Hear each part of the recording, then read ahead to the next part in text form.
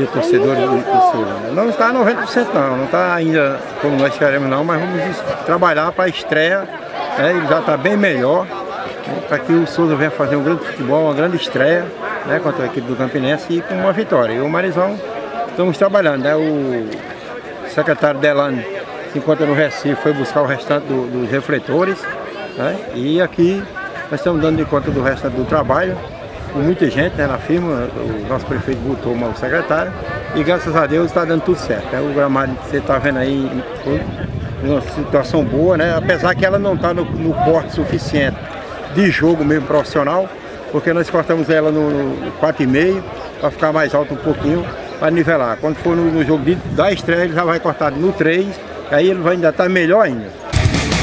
O Ministério já está tudo pronto, né? Falta só dela mandar os laudos, já estão tudo pronto. Né?